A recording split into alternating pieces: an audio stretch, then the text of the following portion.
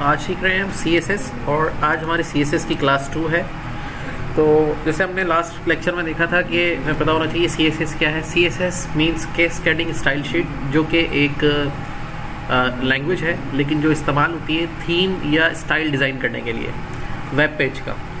तो सीएसएस के जो कोड्स होते हैं बेसिकली जो अप्लाई होते हैं, वो किस पे अप्लाई होते हैं? एचटीएमएल के ऊपर अप्लाई होते हैं, यानी कि एचटीएमएल एलिमेंट्स के ऊपर। यानी कि all tags are H elements मतलब एच के एलिमेंट्स से मतलब वही है कि जो भी एचटीएमएल के एलिमेंट्स हैं, यानी कि ये बोल्ड एच वन यू सब एचटीएमएल के एलिमेंट हैं जो लेस देन ग्रेटर देन में लिखे जाते हैं। इन्हीं को रीडिफाइन करने के लिए एच टी का कोड किया जाता है। यानी कि इनकी फंक्शनलिटी को रेज करने के लिए, इनको मज़ीद, इनकी वेट हाइट और मज़ीद चीज़ों को डिस्कस करने के लिए।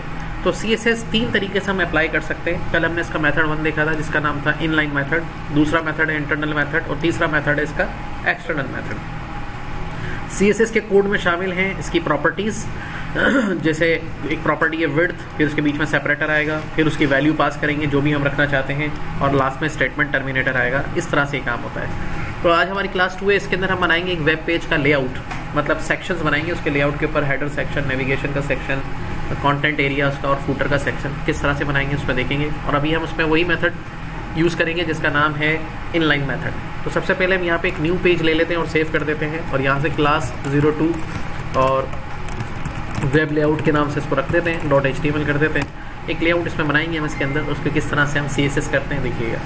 तो सबसे पहले हमने क्या किया कि यहाँ पे वही बेसिक कोड ले लिया एचटीएमएल का। तो ये आगे हम इस पर लिख रहे हैं class zero two web layout तो यहाँ पे हमने लिखा क्लास ज़ीरो टू और इसका नाम रख दिया हमने वेब लेआउट डॉट तो ये हम इसको ब्राउज़र पे देखते हैं कैसे नज़र आएगा। तो यहाँ से राइट किया फ़ाइल एंड एक्सप्लोरर किया और यहाँ से राइट बटन दबाया और यहाँ से गया ओपन एक्सप्लोर में और इसको ब्राउज़र पे खोल के देख लिया। इसको यहाँ से थोड़ा सा अलग कर लिया, यहाँ से मिनिमाइज़ कर दिया और ये हमें नज़र आ रहा है। अब ये तो वैसे नॉर्मली वेब पेज है। अब इसका एक सेक्शन बनाए कि इसका एक हेडर सेक्शन हो, एक इसका नेविगेशन का बार हो, एक इसका कंटेंट यहाँ पर डिसर आएँगे और नीचे फूटर का सेक्शन हो तो ये कैसे इसके अंदर डिफाइन हम कर सकते हैं? तो ये करने के लिए हम सबसे पहले क्या करेंगे, यहाँ से अपना वी सेट खोलेंगे और ये पेज पर आ गए। सबसे पहले हम यहाँ पर कुछ एलिमेंट्स यूज़ करेंगे जो इस काम के लिए यूज़ होंगे। वो सारे ब्लॉक लेवल एलिमेंट हैं, जैसे कि हेडर बनाना है तो हेडर का एलिमेंट हम यूज़ कर रहे हैं। ठीक है, इसमें हेडर आएगा। और उसके बाद हमने आगे इसके नीचे नेविगेशन बनाना है तो नेविगेशन का एलिमेंट यूज़ कर लें हम। ये भी एक ब्लॉक लेवल एलिमेंट है जो डिव की जगह पे हम इस्तेमाल कर रहे हैं। उसके बाद इसके अंदर कॉन्टेंट एरिया आएगा तो उसके लिए हम साइट को इस्तेमाल कर रहे हैं और फिर उसके बाद हम इसका फूटर डिफाइन करते हैं। यानी कि एक नॉर्मल बेसिक से वेब पेज पे एक हेडर होता है, एक नेविगेशन होता है, एक साइट होता है जहाँ पे कंटेंट नज़र आएँगे और एक फूटर सेक्शन होता है। अब बेसिकली देखा जाए तो एच में तो यहाँ पे कुछ भी नज़र आने वाला नहीं है, क्योंकि हमने ये तो एलिमेंट लिख दिया और वो सेक्शन बन गया, हमको दिखेगा कुछ भी। अब हम इसकी सीएसएस करेंगे। तो इनलाइन मेथड में क्या होता है कि हर एलिमेंट के साथ आप उसका कोड लिखेंगे और लिखने के बाद आप उस कोड के डबल कोड लगाएँगे और उसकी जो प्रॉपर्टीज़ है इसके अंदर लिखेंगे। तो अगर जगह कम पड़ती है तो मैंने बताया कि आप इंटर कर दें, नीचे कर दें तो ये डबल कोड यहाँ से स्टार्ट हुआ है डबल कोड यहाँ पे ओवर हो रहा है। अब जो भी कोड है, आप इसके बीच में इजीली लिख सकते हैं ताकि आपको कोई प्रॉब्लम ना आए। सबसे पहले हम इनके अंदर एक एक कलर डालते हैं। तो कलर के लिए हम एक प्रॉपर्टी यूज़ करेंगे बैकग्राउंड कलर तो जैसे प्रॉपर्टी है, वो आपने वैसे ही लिखनी है, क्योंकि इसमें छोटी बड़ी एबीसी का फ़र्क पड़ेगा। तो छोटी एबीसी में ही ज़्यादातर इसकी प्रॉपर्टीज़ हैं, उनको छोटी एबीसी में लिखना है। फिर उसके अंदर कॉलन लगाया, उसका सेपरेटर आ गया। तो अब इसका कलर क्या होगा? ये हेडर सेक्शन का कलर हमने सपोज़ ऑरेंज रख दिया। तो यहाँ सेव किया कंट्रोल एस से, और यहाँ पे आगे रिफ्रेश किया। तो यहाँ पे भी कुछ नज़र नहीं आएगा। उसकी वजूहत है। उसकी वजूहत क्या है?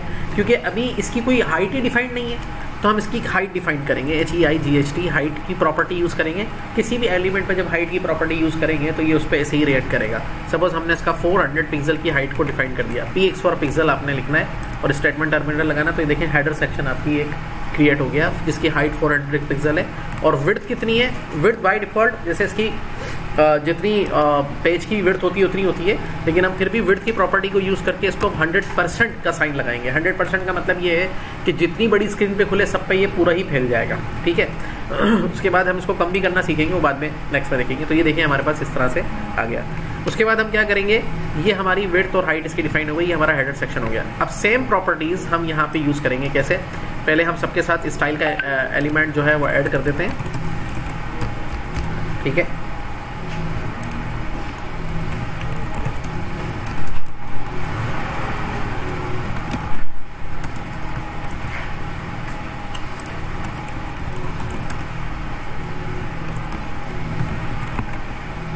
ओके, अब हम क्या करें बार बार कोड लिखें, वो भी ठीक है, वरना हम क्या करते हैं? यहाँ से कॉपी किया, यहाँ पे पेस्ट कर दिया। यहाँ से कॉपी किया, यहाँ पे पेस्ट कर दिया। यहाँ से कॉपी किया, यहाँ पे पेस्ट कर दिया। ठीक है? ये चीज़ इस तरह से नज़र आ रही है। अब उसको क्या करेंगे? यहाँ पे क्लिक करके,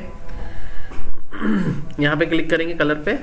यहाँ पे कलर, आप यहाँ से कोई और कलर ले लें। ये इसका शॉर्टकट है। अगर ये काम नहीं करे तो फिर आपको कलर लिखना पड़ेगा। तो हम यहाँ पे इसको यहाँ पे इस तरह से कर देते हैं। ये देखिए, मैं कैसे कर रहा हूँ लाए थोड़ी देर रखा, ये निकल कर आ गया। इसको यहाँ से हमने कलर दे दिया।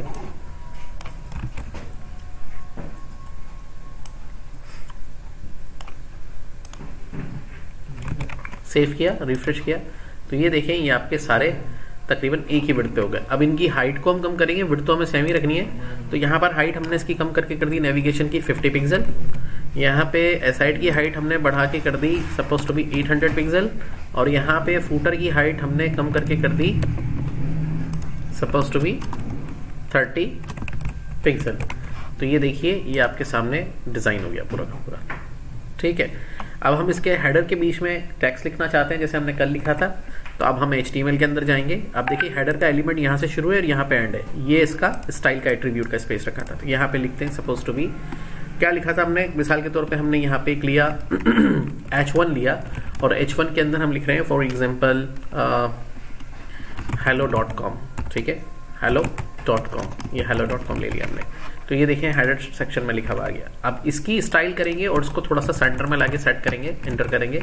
तो यहाँ पे इंटर किया हमने। अब यहाँ पे इसकी प्रॉपर्टी को डिफाइन करेंगे, क्या कौन कौन सी प्रॉपर्टीज़ हम इसमें यूज़ कर सकते हैं। जैसे कि अगर मैं इसको सेंटर में देखना चाहता हूँ तो टेक्स्ट डैश अलाइन की प्रॉपर्टी लेके यहाँ पर डायरेक्टली मैं सेंटर की वैल्यू पास करूँगा।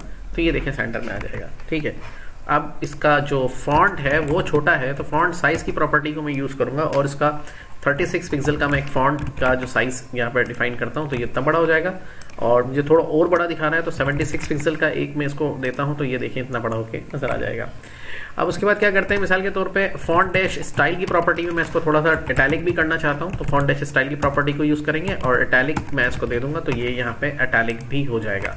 उसके बाद जो कलर्स कॉम्बिनेशन है इसके, वो कलर को मैं यहाँ पे यूज़ करूँगा और यहाँ पे ये कलर्स पे सही रहेगा तो सेव करके रिफ्रेश करूँगा तो देखिए कलर भी इसके ऊपर अप्लाई हो जाएगा। और अगर और कोई कलर देना है तो यहाँ पे रख के थोड़ी देर अपना एरो और यहाँ से वो कलर आप खुद बना लें और फिर इस पर क्लिक कर दें सेव कर दें और यहाँ से रिफ्रेश कर दें। तो इस तरह से वो बन जाएगा, लेकिन ये कलर कोई ख़ास नहीं है। ये कलर देखे नहीं ठीक है? ऐसे अपनी मर्ज़ी के कलर बनाएँगे, ये ही कलर कोड्स खुद ही बनाएगा यहाँ पे। अच्छा उसके बाद अब इसमें एक और प्रॉपर्टी है जिसका नाम है वर्ड स्पेस लेटर स्पेसिंग तो लेटर स्पेसिंग प्रॉपर्टी जैसे आप यूज़ करेंगे तो आप बता दें कितना लेटर के दरमियान में गैप देना टेन पिक्सल का। तो हर लेटर के दरमियान में टेन टेन पिक्सल का गैप भी आ जाएगा। और फिर हमने कल सीखी थी एक फॉन्ट डैश फैमिली की प्रॉपर्टी तो वो आप यूज़ करेंगे। तो आप देखेंगे कि उसके अंदर जो फॉन्ट्स का जो फैमिली है, जो आप यूज़ करना चाह रहे हैं वो आप इसमें ईजीली यूज़ कर सकेंगे और वो उस पर अप्लाई हो जाएगी। जैसे ये देखिए, सही है? तो अब आपने देखा कि किस तरीके से हमने एक अपने टाइटल को यहाँ पे अच्छे तरीके से बना लिया हेडर के ऊपर और ये हमें इस तरह से नज़र आ रहा है। सिमिलरली अब आप इसके अंदर फूटर को भी बना सकते हैं और दीगर चीज़ों को भी बना सकते हैं और ये चीज़ आके आपकी मर्द फर्दर हम नेविगेशन को भी डिज़ाइन कर सकते हैं और इसमें फूटर में भी लिख सकते हैं।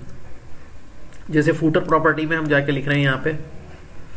फूटर के अंदर हम यहाँ के स्टाइल में बैकग्राउंड में यहाँ पे कुछ टैक्स लिख रहे हैं, जैसे कॉपी राइट या ऑल राइट्स रिज़र्व 2024 रजिस्टर्ड ये हमने लिख दिया रिफ्रेश किया तो ये देखें टैक्स इस पे आ गया। अब इसको भी मजीद डिफाइन करने के लिए आपने यहीं पर ही करना है। फॉन्ट के कलर को चेंज करने के लिए कलर प्रॉपर्टी का इस्तेमाल करना है। यहाँ पे जो फॉन्ट का कलर सही रहेगा, वो ये लगा के देखें तो ये देखें इसके ऊपर अप्लाई हो गया। इसकी टेक्स्ट अलाइनमेंट को चेंज करना है तो टेक्स्ट टेक्स्ट अलाइन प्रॉपर्टी को यूज़ करें और इसको राइट साइड पे सेट कर दें। और यहाँ पे देखिए इधर नज़र आएगा। इसके अलावा इसको अगर फॉन्ट की वेट को थोड़ा डिफाइन करना है फॉन्ट डैश वेट को यूज़ कर लें तो इसको बोल्डर कर दें तो ये देखें आपको इस तरह से दिखाई देगा। और फिर इसको भी, ये देखिए यहाँ पे इस तरह से सिंपलर नज़र आ रहा है। तो ये हमने देखें हेडर बना लिया, ये हमने इसका फूटर भी साइन कर दिया। तो ये देखिए हमने एक वेबसाइट का लेआउट बना दिया, जिसमें इसका हेडर सेक्शन बन गया। यहाँ पे नेविगेशन आएँगे, यहाँ पे जो भी वेबसाइट के कॉन्टेंट कंटेंट दिखाई देंगे, और यहाँ पर हम उसको फूटर दिखाएँगे। तो ये हमने सीएसएस के ज़रिए अपने वेब लेआउट को एक क्रिएट कर लिया। सही?